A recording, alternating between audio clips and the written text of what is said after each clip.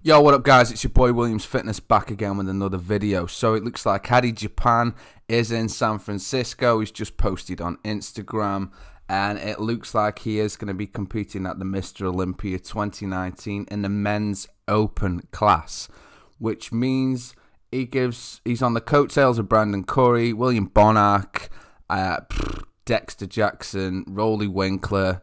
So this this is what he's posted. Um, he's basically got a picture with Hani at the terminal, like the turnstile doors in San Francisco. He's put, My only wish from you is the best uh, of the people of the world. Pray for me. Never raise your hands. Pray open your heart and and try to and try and prove that everyone is wrong about it and they made it a mistake. Today I fly to the sky to become history. Today that 21 uh, that 21 the year I bought him and any kind of. I, he waffles shit, mate. Today I'm here taking revenge on all the people in the world. Hadi and Mehdi have taken down the stone of men and patriotism in me. Today, all Iran is due to you to get the after. Right, okay. So he's he's very fucking political. He didn't need be. Adi, it wasn't your fault. Um, it was it was wow okay revenge on the world yeah right whatever dude um, i'm glad you're over there but don't be a dick about it come on so off the back of that I, I genuinely don't. I think Hadi will be, and I'm being fucking realistic. And some of them you're not gonna like this. I think he's probably looking at fifth, sixth place.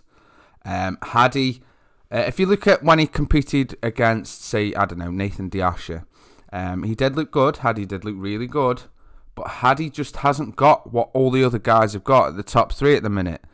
He hasn't got that, that symmetry and that flow better than, say, Ro- Roelly Winklaar and fucking Brandon Curry. He's not got it. So I don't think Hadi can win the men's open. Um, it would have been cool if he went straight over into the 2 1 2. Um, he is taking revenge on the world. Don't know what his fucking plans are in America now. He's over there. I think that ban might be put back on him if that's the shit he's posting on fucking Instagram. fucking idiot. Honestly, wow. Not cool, dude. Not cool. But I really do hope he does well. It is a big move for bodybuilding. It is a big move for America. Um, because I don't think this anything like this has happened before where someone from Iran has had their you know their ban lifted specifically just to come and compete in a competition, um, which is pretty cool. I am happy for him. Um, I really do hope he does well. Um, to me, he's a top four, top five, um, and that's the the placing I think he'll get. I think I do think he'll get the first call out in the in the top five. Um, but other than that, that's that's the news, guys. That's it.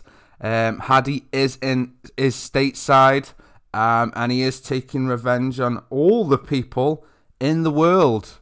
Um, so there you have it. Having me, you've been you. Peace.